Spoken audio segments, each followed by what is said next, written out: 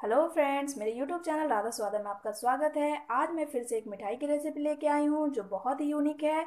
इसे हम beet root से बनाएँगे और इसे बनाने में हमने दूध, घी या खोया का यूज़ नहीं किया है। ये टेस्ट में बहुत ही लाजवाब लगता है। तो चलिए हम बिना टाइम वेस्ट के इस रेसिपी को शुरू करते हैं। अगर अभी तक आपने मेरे चैनल को सब्सक्राइब नहीं किया है तो प्लीज़ मेरे चैनल को सब्सक्राइब कर ले। और वीडियो पसंद आती है तो वीडियो को लाइक और शेयर ज़रूर कीजिएगा। इस रेसिपी को बनाने के लिए मैंने यहाँ पे एक ब्लेंडर जार लिया है और इसमें हम डालेंगे एक बीट रूट जिसे मैंने छिलका उतार के इस तरह से छोटे छोटे टुकड़ों में काट लिया है। इसे हम जार में डाल देते हैं और इसमें हम दो से तीन चम्मच पानी डाल के इसका एक पेस्ट बना लेंगे। देखिए फ्रेंड्स हमने पेस्ट बना के तैयार कर लिया है और इसका पेस्ट बिल्कुल स्मूथ बनना चाहिए। देखिए इस तरह से इसमें हमें ज़्यादा पानी का यूज़ नहीं करना है। अब चलते हैं अगले प्रोसेस पे। गैस पे मैंने एक कढ़ाई को गर्म करने के लिए चढ़ा दिया है। इसमें हम बीट रूट का पेस्ट डाल देंगे और गैस का फ्लेम मीडियम रखें। इसके साथ ही हम इसमें डालेंगे वन फोर्थ कप चीनी और हम इसे तब तक चलाते रहेंगे जब तक चीनी अच्छे से पिघल ना जाए। देखिए फ्रेंड्स, चीनी पूरी तरह से घुल चुकी है।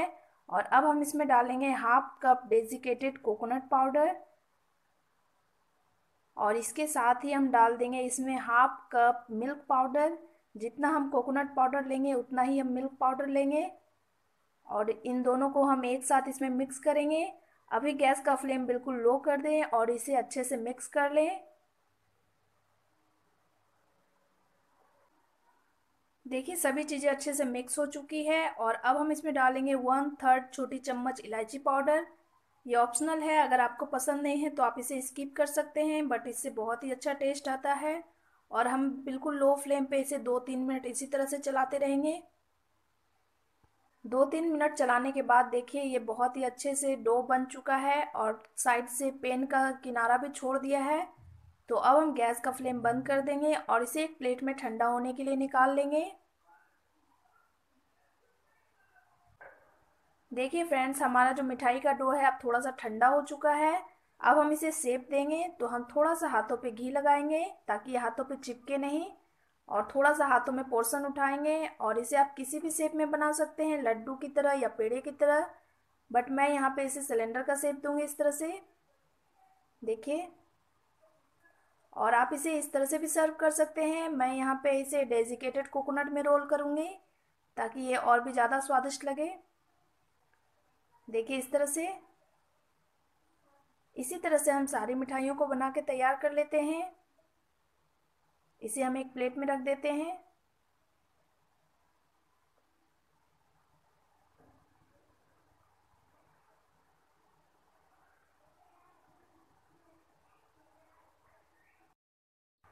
सारी बीट रूट की मिठाई को मैंने बना के तैयार कर लिया है। कुछ पे मैंने नारियल पाउडर से कोट किया है और कुछ पे मैंने सिल्वर लिप्स लगाए हैं। देखिए फ्रेंड्स ये बहुत ही ज़्यादा स्वादिष्ट हमारा मिठाई बन तैयार है और इसमें मैंने कोई भी फ़ूड कलर यूज़ नहीं किया है। बीट रूट के कारण से इसमें बहुत ही अच्छा कलर आया है। इस मिठाई को आप एक बार ज़रूर ट्राई करें और इसे बच्चे बहुत ही पसंद करते हैं। रेसिपी अगर आपको अच्छी लगे तो वीडियो को लाइक कर दीजिए और इसे फ्रेंड और फैमिली मेंबर के साथ भी शेयर कीजिए ताकि वो भी इस रेसिपी को बना सके और मेरे चैनल को सब्सक्राइब करना ना भूलें। तो मिलते हैं किसी नेक्स्ट रेसिपी के साथ। तब तक के लिए थैंक यू बाय